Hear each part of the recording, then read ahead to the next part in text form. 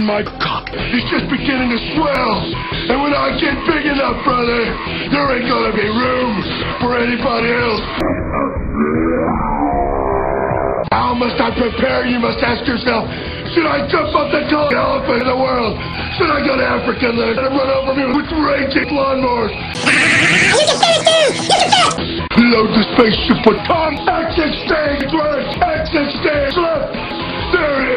place to run. All the fuses in the exit signs have been burned out. Family that I live for only breathes the air that smells of rocket fuel. I look a bunch of normal people, and when you fall below the lawnmowers of the Warriors past, the power of the Warriors will become the eighth wonder.